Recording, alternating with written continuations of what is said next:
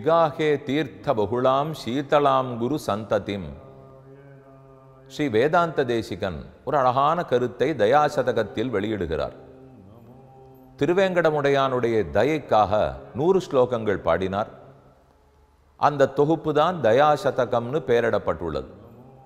அதில் முதல்ல கூறுகிறார் பகவான் ஒரு பெரிய வெள்ளம் ஆற்று வெள்ளம். சட்டென்று வெள்ளத்தில் கால் வைக்க முடியாது. படித்துறை மூலமாகத்தான் இறங்க வேண்டும். அதே போல இங்கும் பெருமானை பற்றுவதற்கு பாகவதர்கள் மூலம்தான் இறங்க வேண்டும்.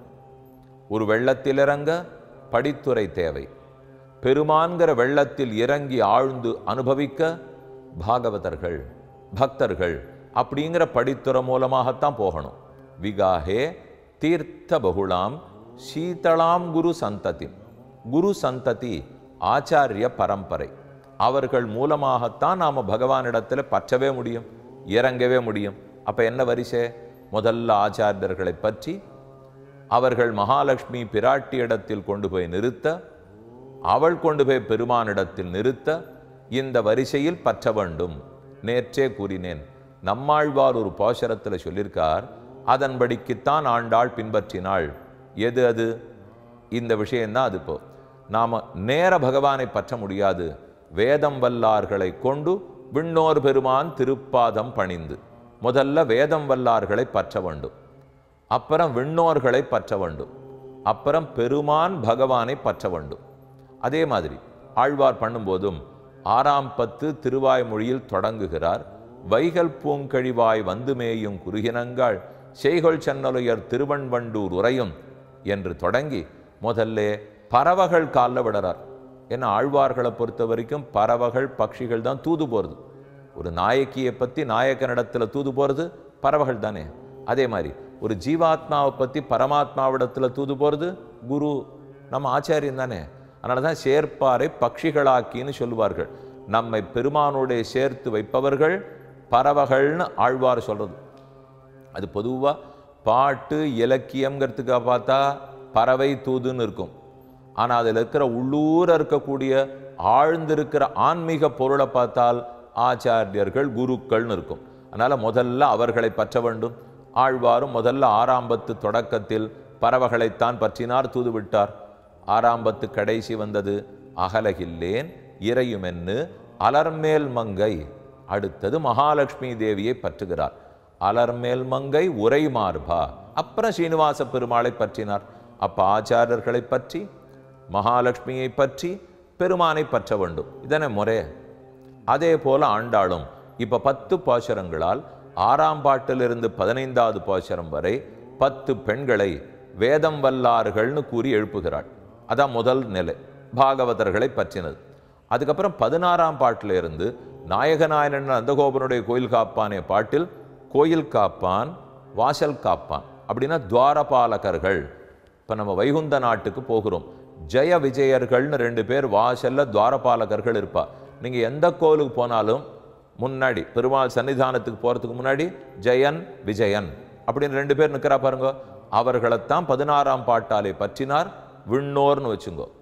அதுக்கப்புறம் பதினேழாம் பாட்டு நந்தகோபாலன் யசோதை பலராமன். இவர்கள்லாமும் விண்ணோர். பதினெட்டாம் பாட்டு அதுதான் நப்பின்ன பிராட்டி எழுப்பினது. அப்போ மகாலட்சுமிக்கு பிரதிநிதியாக எழுப்பி விட்டாள் இருபத்தி ஓராம் பாட்டிலிருந்து நேர கண்ணனை எழுப்புகிறாள். அப்ப இந்த ஆறாம் பாட்டிலேருந்து பதினஞ்சாவது பாட்டு வரை வேதம் வல்லார்கள்ங்கிற பக்தர்கள். பதினாறாம் பாட்டிலேருந்து இருபதாம் பாட்டு வரை விண்ணோர்கள். இருபத்தோராம் பாட்டிலிருந்து நேரே கண்ணனை எழுப்புகிறாள். ஆழ்வார் எவ்வழி காட்டினாரோ ஆண்டாள் அதே வழியில் தான் தற்போது நடக்கிறாள். இதுதான் இந்த திருப்பாவைக்கே உண்டான ஆச்சரியமான அனுபவம். நாமும் பாதை மாற வேண்டாம். நேர பெருமானை அண்டுவது எளிதல்ல. அப்போ பக்தர்கள் மூலமாகத்தான் அண்டியாக வேண்டும். நமக்குன்னு ஒரு குரு கிடைப்பார். அவசியம் ஒவ்வொருத்தருக்கும். ஒரு குடும்பம்னு இருந்தால் குடும்பத்துக்கு வைத்தியர் இருக்கார். குடும்பம்னு இருந்தால் மின்சாரம் பழுதுபட்டுத்துன்னா நம்ம வீட்டுக்குன்னு பார்க்கறதுக்கு இருக்கார். இல்லை ஏதோ தண்ணீர்லாம் ஒழுங்காக வரல குழாயெல்லாம் பார்க்கறதுக்கு ஒருத்தர் இருக்கார். எதுக்கும்? நம்ம குடும்பத்துக்குன்னு ஒருத்தர் வச்சுருக்கோம் ஒன்று சரியில்லைன்னா ஒன்று கூப்பிடுவோம் இல்லையப்போ அதை போல் நம்ம குடும்பத்துக்கு குரு யார்? ஆச்சாரியன் யாருனால்? மேலும் கீழும் பார்த்தால். பலருக்கு தெரிந்திருக்கலாம் சிலருக்கு தெரியாமல் இருக்கலாம். அது தெரியாமலே படுத்தினால் அப்போ ஆத்ம பரமாத்ம விஷயத்தில் எந்த ஐயம் வந்தாலும் கேட்பதற்கே ஆள் இல்லாத போடும். இப்போ நமக்கு ஒரு பிறப்பு இருக்குது இறப்பு இருக்குது என்ன அதுக்கு நான் பண்ணணும்? யாரை கேட்பீர்கள்? அதுக்கு வீட்டு குடும்பத்துக்கு வாத்தியார் சுவாமின்னு ஒருத்தர் இருப்பாரோ இல்லையோ? அவர் முதல்ல இருக்கணும். அந்த ப்ரகஸ்பதி வாத்தியார் சுவாமி இருந்தால்தான் இது இத்தனை அவரிடத்துல கேட்டு தெளிவடைஞ்சிக்க முடியும். இனிமே வீட்டுக்கு வாத்தியார் வீட்டுக்கு வைத்தியர் வீட்டுக்கு மின்சாரக்காரர் வீட்டுக்கு கொழாக்காரர் அப்படின்னு இருக்கா மாதிரி? இதெல்லாம் சின்ன சின்ன சமாச்சாரம். இல்லாட்டாக்குள்ள ஒன்றும் ஆயிடாது. ஆனா ஆத்மா மோட்சம் போறதுக்கு வழி சொல்லக்கூடிய ஆச்சாரியன் இல்லைனால் அப்ப எதுவுமே சாதிக்க முடியாதே. ஆனால் அவரை பற்றி கொள்ள வேண்டும். அப்படி பற்றுவது தான் இந்த போஷரங்கள் எல்லாமே. நல்ல நேர பெருமானை அடைய முடியாது. மூலமாகத்தான் அடைய வேண்டும். இந்த தெளிவைத்தான் நம்மாழ்வாரும் கொடுத்தார். அதே தெளிவு தான் ஆண்டாளும் கூறுகிறாள். இப்ப நாம பார்க்க வேண்டியது திருப்பாவையில் ஏழாவது பாசுரம். இதுவும் ஒரு பாகவத பெண்ணை எழுப்பும் பாசுரம். கீசு எங்கும் ஆனைச்சாத்தன் கலந்து பேசின பேச்சரவம் கேட்டிலையோ பெய்ப்பெண்ணே காசும் பிறப்பும் கலகலப்ப கைபேர்த்து வாசனருங்குழலாய்ச்சியர் மத்தினால் ஓசப்படுத்த தையரவம் கேட்டிலையோ? நாயகப் பெண் பிள்ளாய் நாராயணன் மூர்த்தி கேசவனை பாடவும் நீ கேட்டே கிடத்தியோ? தேசமுடையாய் திற ஏலோர் எம்பாவாய். நல்ல தேஜஸ் ஒளி படைத்தவள் உள்ளே படுத்திருக்கிறாள். ஒளியோடு இருக்கிறவா? முதல்ல எழுந்திருந்து வர வேண்டாமா? அவர்கள் தானே தலைமை பொறுப்பேற்று போக வேண்டும். இன்னைக்கு எங்கேயுமே பொறுப்பேற்றுறதுக்கு ஆளே இல்லை. நீர் வேணா எடுத்துக்கும் பொறுப்பெடுத்துக்கும் என்னால் ஆன உதவி பண்ணுறேன் இல்லை இதை நீரே எடுத்துன்னு செய்யலாம் என்னால். அதெல்லாம் வேண்டாம் சுவாமி. வீட்டு வேலையை தாண்டி இதுக்கெல்லாம் எங்களால் போக முடியுமா? இதை பார்க்கணும் அதை பார்க்கணும் அதை பார்க்கணும். உடம்பு வேற சரியில்லை. இவா வேற வரணும் வரணுங்கிறா. நான் வேற போவே இல்லை நாலு மாசமா. ஏதோ காரணம் சொல்லி தட்டி கடிச்சிடுறா பாருங்க. யாருமே இப்போ கோவில் பொறுப்பு பாடசாலை பொறுப்பு ஒரு சபா பொறுப்பு அது சங்கீத சபாவாக இருக்கட்டும் ஆன்மீக சபாவாக இருக்கட்டும் பொறுப்பெடுத்துறதுக்கு ஆள் கிடைக்க மாட்டேங்கிறா. நீங்கள் பொறுப்பெடுத்துங்கோ. நாங்கள் பின்னாடி இருந்து என்ன தோல் கொடுக்கணுமோ கொடுக்குறோம். என்ன பயனால் பொறுப்புன்னு எடுத்துனுட்டா எப்பவும் போய் நிற்கணும் இல்லையா? ஏதான ஒன்றுனா நம்ம தானே பதில் சொல்லி ஆகணும். நாலு பேர் கேட்பா நாலு பேர் திட்டுவா எல்லாத்துக்கும் பதில் சொல்லணும் இல்லையா? வேண்டாமேன்னு தோன்றதே அப்படி இருக்கக்கூடாது ஆன்மீக நன்னா வளரணும்.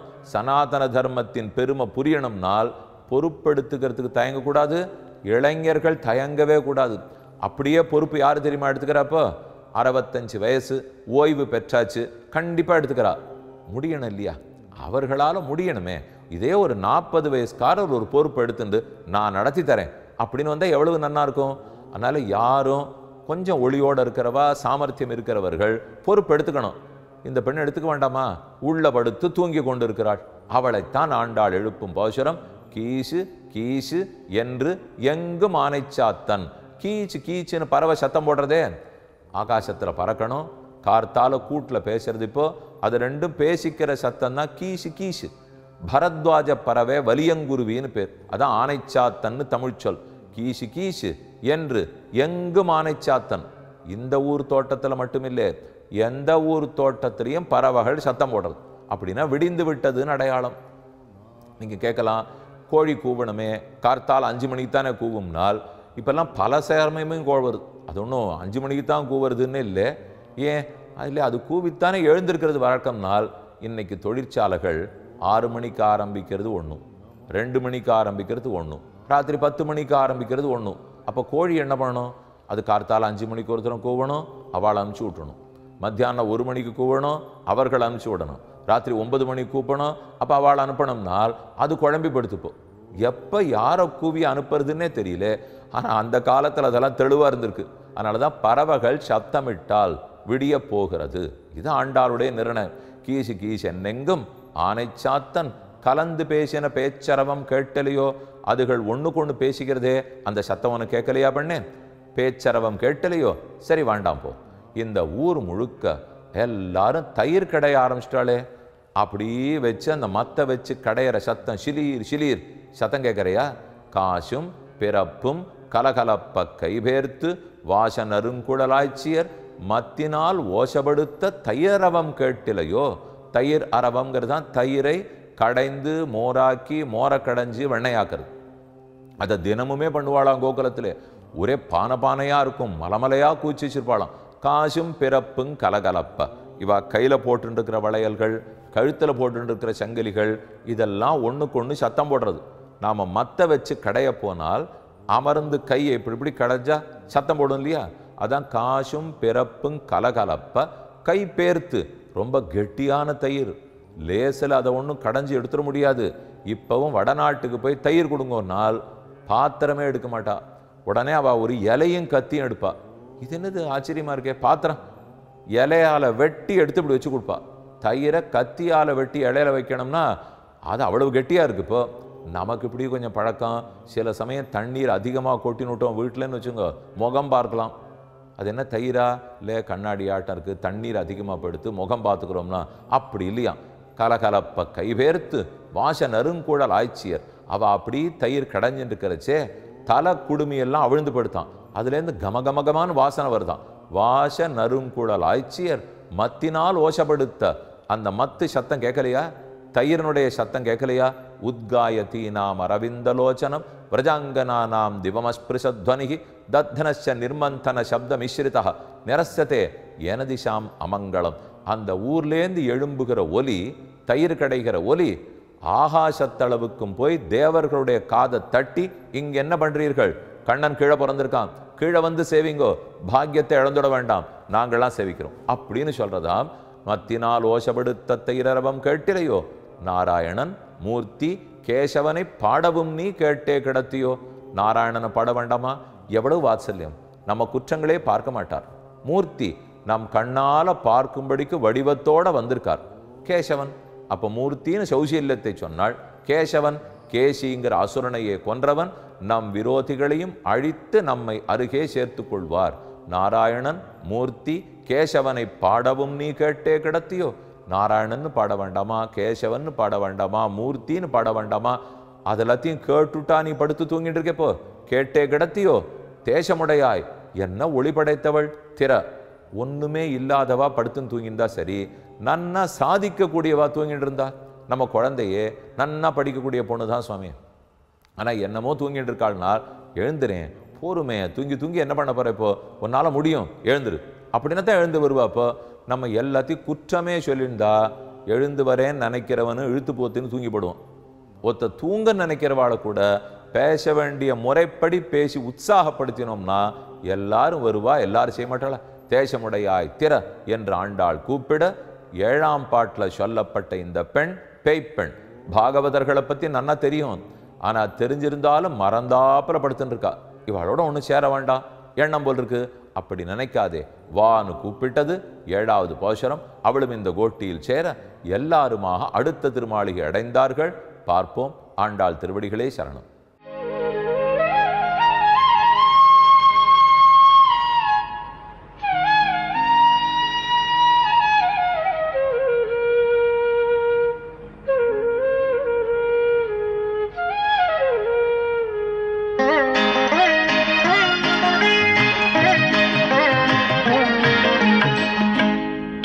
கீசு சென்றெங்கும் ஆனை சாத்தன் கலந்து பேசின பேச்சரவம் கேட்டிலையோ பேய் பெண்ணே. கீசு கீசென்றெங்கும் ஆனை சாத்தன் கலந்து பேசின பேச்சரவம் கேட்டிலையோ பேய் பெண்ணே.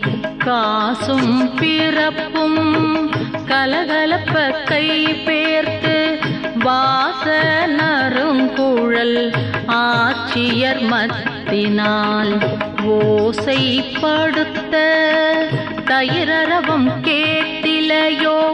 நாயக பெண் பிள்ளாய் நாராயணன் மூர்த்தி கேசவனை பாடவும் நீ கேட்டு கிடத்தியோ? தேசமோ